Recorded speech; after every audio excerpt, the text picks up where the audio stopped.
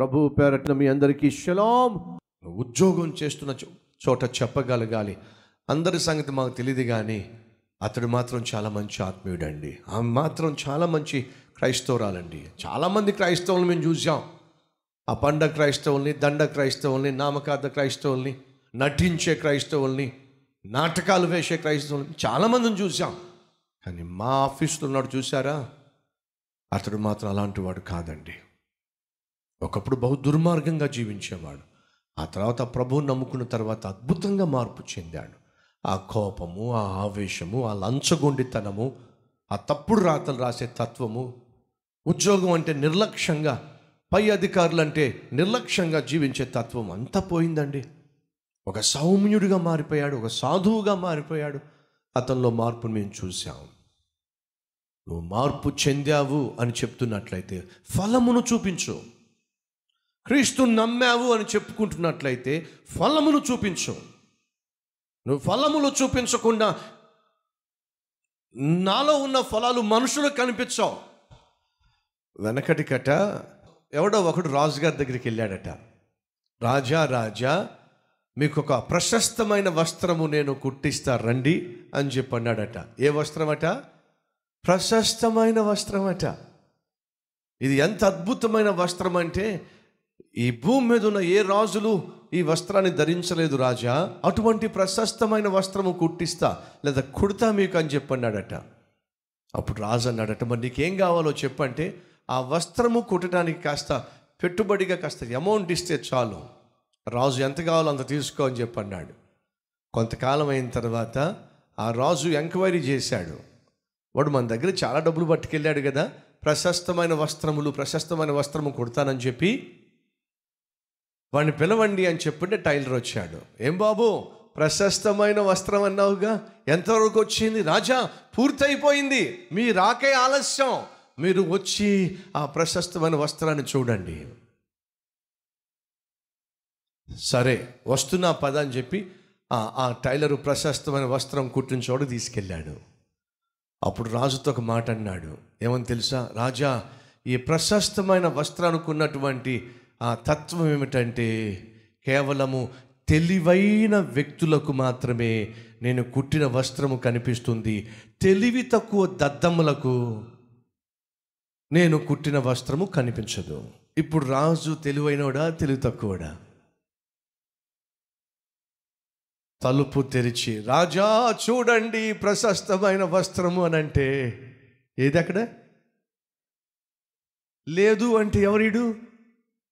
తెలుగు తక్కువడు ఇప్పుడు రాజు చూశాడు ఆ గదిలో ఏమీ కనిపించటల్లా ఏమనాలి? ఆహా! ఆహా! కొంతమంది అంటూ ఉంటారు నా నా ఆత్మీయత మనుషులకి కనిపించదు. నా భక్తి మనుషులకు కనిపించదు. కేవలము దేవునికి మాత్రమే కనిపిస్తుంది. మోసం చేసుకుంటున్నావు నీ జీవితాన్ని. ఒక గులాబీ మొక్క ఫలిస్తే పుష్పము కనిపిస్తుంది. ఒక మామిడి చెట్టు పూత పూస్తే పూత కనిపిస్తుంది. పిందెలు వస్తే పిందెలు కనిపిస్తాయి. కాయలు వస్తే కాయలు కనిపిస్తాయి. పండ్లు వస్తే పండ్లు కనిపిస్తాయి. ఒక చెట్టులోంచే ఫలము కనిపిస్తుంది. ఒక మొక్కలోంచే పుష్పము కనిపిస్తుంది. మరి ఆత్మీయుడు అయిన నీవు ఆత్మఫలమును ఫలిస్తే ప్రేమ కనిపించాలిగా సంతోషం కనిపించాలిగా సమాధానం కనిపించాలిగా కనిపించదని చెప్పంటావే? ఈరోజు దేవుడు సూటిగా నీతోనే మాట్లాడుతున్నాడు. నువ్వు నిన్ను నీవు మోసం చేసుకుంటున్నావు. నీ చుట్టూ ఉన్న వాడిని మాయ చేసి పడేస్తున్నావు. ఫలించో! ఫలించకపోతే నిన్ను నరికి పడేస్తా. ఆరు మనస్సుకు తగిన ఫలము ఫలించు. ఈ సంవత్సరము దేవుడు మనకిచ్చింది తమాషాలు చేయడానికి కాదు. ఈ సంవత్సరము దేవుడు మనకిచ్చింది వేషాలు వేయడానికి కాదు. ఈ సంవత్సరం దేవుడు మనకిచ్చింది మోసపూరితమైన జీవితాన్ని కొనసాగించడానికి కాదు. ఈ సంవత్సరం దేవుడు మనకిచ్చింది ఫలించటానికి. ఆ ఫలములో మొదటిదేటో తెలుసా? ప్రేమ. నీలో నాలో కనిపించవలసినది ఏమిటో తెలుసా? ప్రేమ. ప్రతి క్రైస్తవుడిలో కనిపించవలసింది ఏంటో తెలుసా? ప్రేమ. సహోదరుడ సహోదరి నీ గురించి నా గురించి మనందరి గురించి మన చుట్టూ ఉన్న వాళ్ళు చెప్పాల్సిందేంటో తెలుసా? చూడాల్సిందేంటో తెలుసా? ప్రేమ. అతడు చాలా ప్రేమ గలవాడండి. ఆమె చాలా ప్రేమ కలిగిందండి. అని మనలను చూసిన వాళ్ళు ఖచ్చితంగా చెప్పగలగాలి. అడుగుతున్నాను ఎవరైనా చెప్పగలరా? నిన్ను చూసి నీ పద్ధతులు చూసి నీ ఆత్మీయతను చూసి నీ వేషభాషలు చూసి నీ మాట తీరు చూసి ప్రేమ గలవాడు చాలా ప్రేమ కలిగింది. చెప్పగలరా?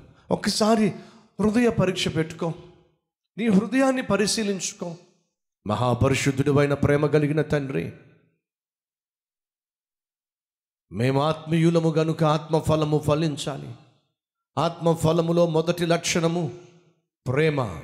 ఆ ప్రేమ మాలో లేకపోతే వ్యర్థులము.